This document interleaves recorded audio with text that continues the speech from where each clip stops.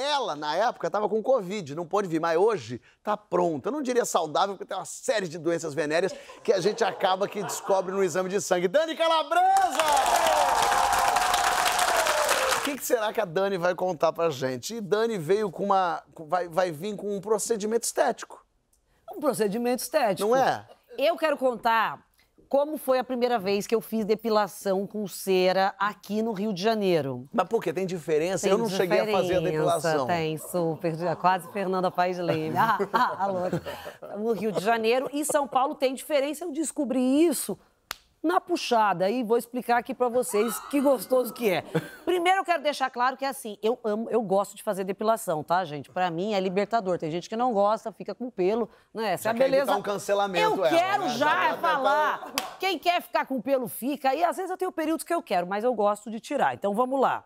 Depilação. pra se defender, ela meio se expôs um pouquinho. Me deixa! Eu gosto de pelo, eu mais na berola, mas depois... Mas não. ela é vai dar oi depois pra todo mundo no bloco 2. A gente vai. Tem Ah, que só ninguém terminar. falou que tinha isso. Tchau. Terminou a perola. Calma, eu, Não! Mentira, eu respeito. Não, coisa mais linda. eu respeito o xereca. É, eu respeito o Xoxota. É linda, é uma tulipa, um porta-joia. Você vai ver, a coisa mais linda. Comecei agora a história. Depilação já é desagradável. Vocês são homens, não sei se vocês fazem, mas já ouviram falar que dói pra Dói, caralho. dói, dói. Então, assim, é quase, de verdade, é quase uma prova do líder. A gente devia ganhar um carro depois, ou uma imunidade, igual no BBB.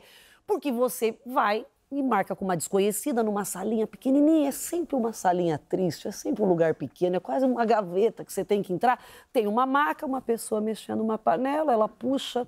qual- Todas tristes. toda tristinha, com uma colher de pau, sopra, passa, dá um tapa antes de puxar. Mas, mas peraí, ela bota um plastiquinho, certo? Que plastiquinho? Não, ela passou agora... Isso é rolon? Você já fez, besta? Não, tô falando cera quente.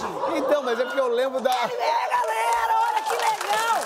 Não é, não! Não tem plástico! Não, porque eu lembro, na minha infância, eu me lembro na varanda lá de casa. A Alice tá aqui, ela pode... Não Na sei se ela infância, lembra. você era globeleiro? Obrigado. Pô, A tua mãe te depilava? Eu me lembro da minha mãe e das minhas irmãs, eu tenho duas irmãs mais velhas, Ah, tá. na varanda, com a, a cera quente, passava num plastiquinho, Que coisa linda. abria o plastiquinho, As na botava, varanda. fazia...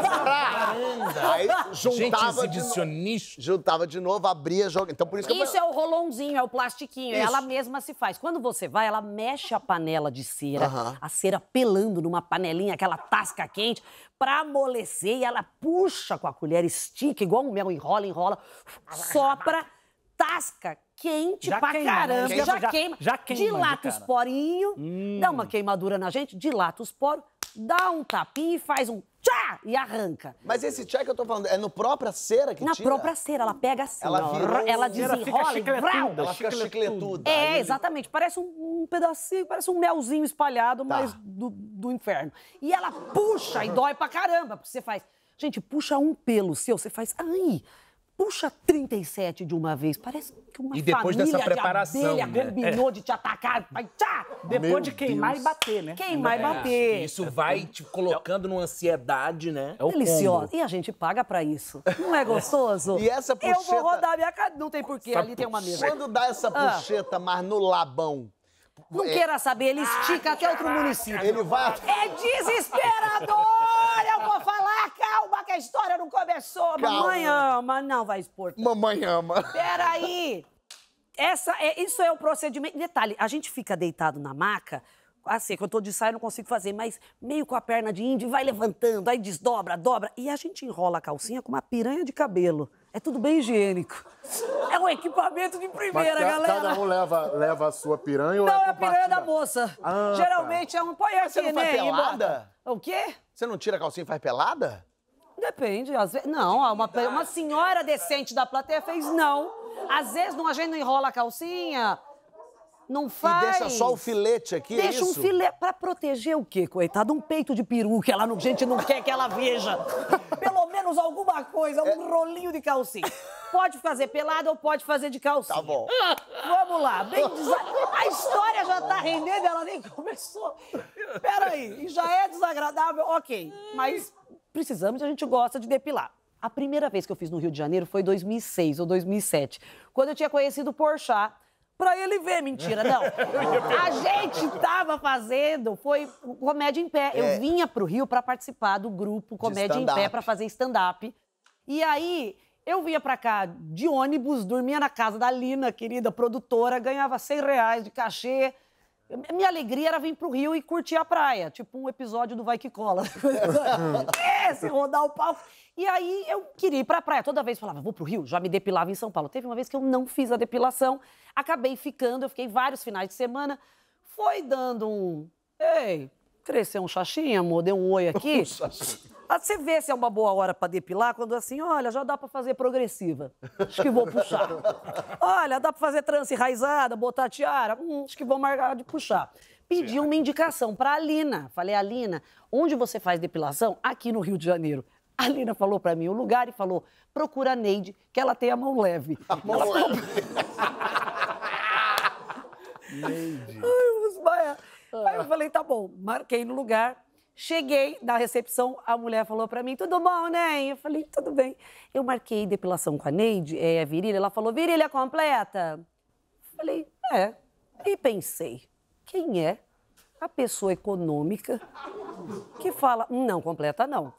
Puxa só o tufo da direita, que o da esquerda eu vou pôr um tererê. É claro que é completa! É uma. Gente, ela vai ficar quê? Com uma franja só um lado? É uma peteca, não é uma Manu Gavassi. Falei, é completa, moça. Completa. Vamos na completa. Obrigada. É, completa, completa. Mas fiquei com a sensaçãozinha de que estranho. E aí, realmente eu fiquei com essa sensação de que a virilha completa no Rio, ela inclui mais coisa. Sim. Fui pra salinha. Oi, Neide. Neide super querida, simpática. Vambora, vamos. Fiz a posição, enrolou minha calcinha, botou a piranha. E aí, ela me deu uma calcinha descartávelzinha dela, que era um fio. Não, dela, não dela, né? Não, da- do lugar. Neide tirou, é sua calcinha. Ela deu do local, do Ela lugar. deu no local.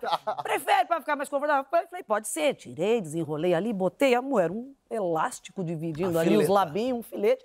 Fui. Neide foi conversando e a Neide era meio bocuda, meio fofoqueira. Ela falava assim, enquanto ela puxava, ela pegava o negócio, a colher de pau, batia, tá, Neide, tinha umas conversas assim com ela. Ei, Neide, Neide, gritava o nome dela. Ela, sabe a garota da novela? Eu falei, ah, ela me falou qual era. Ela falou, eu que depilo ela. Tem buço à beça, a Neide. Falei, que legal, Neide. Ela ia falando coisa. Eu falei, não, não se concentra, se concentra. Eu parei de ouvir o que a Neide estava falando e ela falava só, levanta aqui, levanta aqui. Eu fui seguindo as instruções. Uma hora eu tô de bruço, segurando as duas bandas da minha bunda. Peraí, peraí, peraí. Isso é importante. Esse momento que Vocês fala. querem chamar o comercial agora? Falando com o Neide, você foi se virando. Tem um mercha, vamos fazer um mercha E aí, agora. deixa eu entender isso aqui. Sim! E você mesmo abre as bandolas. Você fica aqui E eu assim. sou a Neide aqui, ó, mexendo na panela. Pra não ficar fácil. Eis que Neide! É aqui que fica. Assim que fica. Tá. Só que ela já tinha pegado bem cavada mesmo e a gente põe pro lado, põe, vai pondo as coisinhas. Eu falei, eu tava assim, ouvindo ela falar da novela, falando, teve tiroteio no túnel. Eu nem queria ouvir a palavra túnel nessa posição. Neide tá mexendo aqui a panela, ela estica a colher de pau, enrola, sopra, veio com cuidadinho assim com a colher. Ela pega a colher de pau e espeta assim, ó, pum, no meu cu. Eita. Espetou no meu Quente, cu, é a né? completa. No cu quente. Quente no Eu falei, não, não, não, não, não. E eu soltei as duas bandas e a minha bunda grudou igual um tostex. E Neide começou, não pode fazer isso, não. Eu falei, Neide, Neide, eu de bruxo com a bunda grudada. Neide! E ela, come... eu falava, falei, não pedi aí não, Neide, não era aí não. Ela, ai meu Deus, ela começou a tentar abrir minha bunda. A que Nádia grudou? Meu a cera, Deus. você sopra, ela vem molinha aqui. Colocou, ela gruda imediatamente. Então você tem que puxar, porque ela fica totalmente dura. Colou a minha bunda. As bandas grudaram. Colaram, assim, como um sanduíche de desespero e cera. Juro, parecia que a minha bunda tinha pisado num chiclete. Não abria por nada. E Neide começou a tentar fazer força assim, ó. Como se E fosse... ela enfiou bem lá na meiota. Ela enfiou assim, ó, pum, no cu mesmo, no alvo. Não sabe? tem outro Pum. nome, não tem no meio do Tem, olho é do o toba, GNT, é lá, no- lá mesmo. Neide não conseguia abrir de tanta força que ela fazia, foi me machucando um pouco. Neide começou, me ajuda aqui, Kelly. Ela chamou uma colega pra ajudar. Kelly entra, eu tô de bruxa. Eu, prazer, Kelly, por favor, gente, não precisa puxar tudo. Não tem como amolecer a Kelly. Por que fez isso? Não pode. Neide abria a minha bunda e eu entendi porque ela chamou a Kelly. A Kelly tinha uma unha enorme, a Kelly fazia assim. A Kelly tentava quebrar a cera quente na minha bunda, enquanto o Neide separava as bandas e eu tava na maca, É só querendo voltar pra casa. É. Gente, juro pra você. E, a, e uma hora que ele falava, pega meu óculos, ela pegava, ela pega o outro. Eu falei, ela quer ver meu cu de perto, meu cu de longe. a Kelly tá trocando de óculos, o que, que elas estão fazendo? Uma expedição na minha bunda que elas não terminavam. Uma hora a Kelly gritou assim, achei! Eu pensei, achou o quê? Um controle remoto? Um palito da Frutari? O que, que ela achou, meu Alguém Deus? perdido lá dentro há É. anos, né? Menina, meu primo, olha aqui. Eu Era o Belchior. o meu- Ele tava Ela lá. achou o meu toba. Ela falou, tô vendo ele. ela conseguiu ver Ah, ela ele. achou a rodela. Ela achou a rodela, ela fez, vou puxar. Fez assim, fez, tal, puxou a cera dura do toba. Juro pra você, a sensação é que te arrancaram a tampa da alma. A sua alma sai pela salinha, assim, ó, Que nem uma se bexiga, né? Como uma bexiga murcha que você faz. Ai, ai, ai. Ai, pronto, pronto. Vai com Deus. Eu falei, gente, Mas peraí, o cu veio preso na coisa? ou... eu não faço ideia. Você quer olhar? Vamos, Não, me vamos- ajuda, Lobianco. Até só um hoje vamos Calabresa tá na fila do transplante de Meu cu. Deus. Hoje, desde então, perdeu. Cevite, Amor, um né? capeletine que você já me deu, já vou ficar feliz a calcular. Eu fui pra recepção sentindo um tchof-tchof, que é uma sensação diferente, gente. E aí eu não sabia se eu pagava, se eu chorava, se eu fazia um BO. E essa é a lição que fica. Quando você for fazer depilação no Rio de Janeiro, amor, cuidado, que se você pedir uma axila, pode ser que te arranquem os órgãos. Mas também Cuidado tem a vantagem que se você pedir um buço, vai que tira os dentes do siso. Você economiza um dinheiro, amor. Eu achei vantagem. Obrigada, pessoal!